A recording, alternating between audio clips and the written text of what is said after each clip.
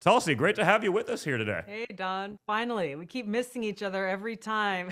I know, like like ships passing in the night. We literally miss each other by like six hours. So I am so really excited about having this conversation. I'm glad we're doing it now because you know it's it's sort of interesting. I, I you know I sort of I leave my comments up here on the live stream, uh, and even for the last couple of months, you know.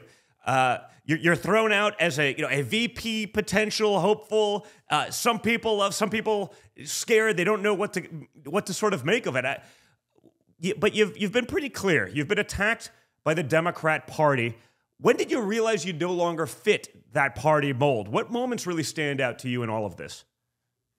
Well, Don, before you came on, uh, or actually when you first started your opening comments, uh, I took a look at the comments coming in as well, and and to all of all of you who have questions or concerns, um, this is one of the reasons why I wrote this book. Mm-hmm. Uh, I joined the Democratic Party over 20 years ago when I first ran for state house here in Hawaii. I was 21 years old.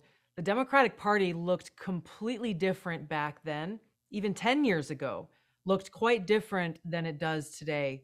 Uh, I can't tell you that there was one singular moment that that caused me to say, okay, this is it the Democratic Party has left me behind.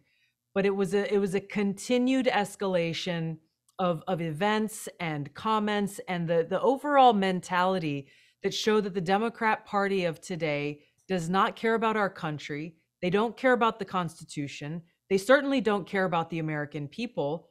They care about one thing, and that's power. Mm-hmm. And everything that we've seen play out in the Biden administration over the last three and a half years points to exactly that objective.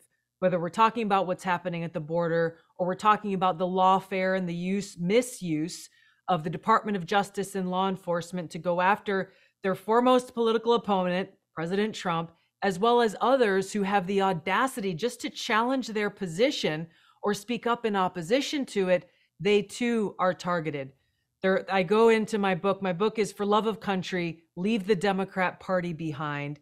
And I go into each of these really big issues that I wanted to focus on that all kind of center into our fundamental rights, our God given rights and freedoms enshrined in the Constitution, and how the Democrat Party of today is doing all that they possibly possibly can to undermine those rights and take away our very identity of who we are as Americans in this great country.